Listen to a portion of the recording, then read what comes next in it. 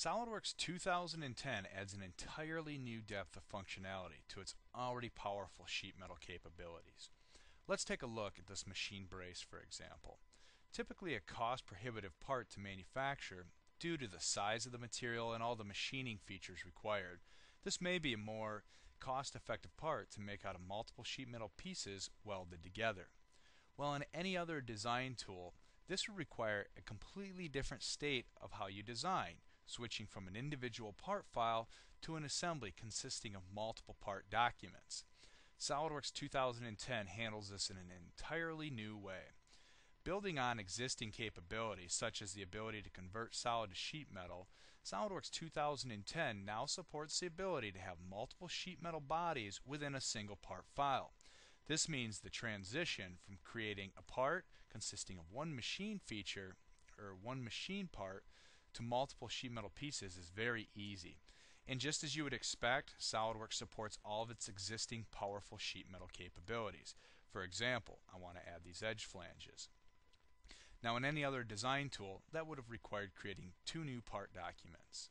Notice we didn't have to do that in SOLIDWORKS 2010.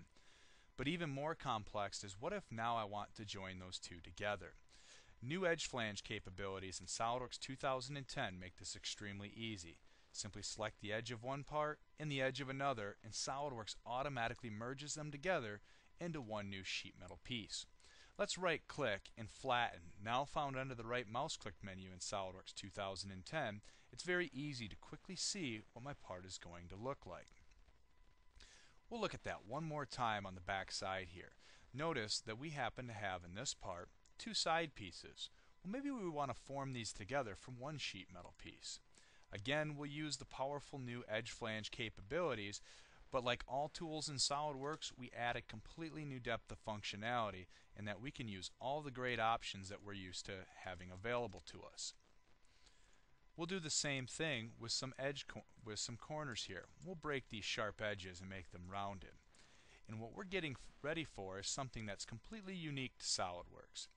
Because we're working in a multi multi-body environment, the same technology behind our welding environment, we can quickly add things like weld beads to our designs. Something completely unique to SOLIDWORKS, and that's the ability to work in a hybrid environment of sheet metal pieces and welded pieces together. Now the final output really is for manufacturing. I want to have these pieces made. If I want to quick take a look at what a part looks like before I output it, I can also right click on it and we have the new toggle flat display in SOLIDWORKS 2010. This gives me a nice preview while I'm actually working on my 3D model. But even more powerful is the ability to output right to manufacturing. I can right click on any sheet metal piece and export to DXF or DWG. Simply save the file name and choose what type of features you want to export. In this case, we're going to choose geometry and bend lines. But instead of just exporting it to a DXF file in this case, SOLIDWORKS is going to go a step further, and it's actually going to present us with a preview. But not like any preview you're used to seeing. It's completely interactive. So for example, if I wanted to remove these pockets before I send it out for manufacturing, we can easily do that in SOLIDWORKS 2010.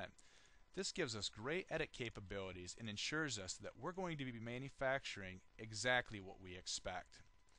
SOLIDWORKS 2010 adds great new depths of functionality to all of its sheet metal capabilities.